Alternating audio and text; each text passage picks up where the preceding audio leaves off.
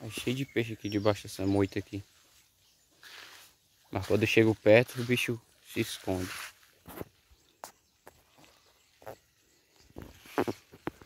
Desceu um bocado de traíra aí agora. Deixa eu ver se ela sai.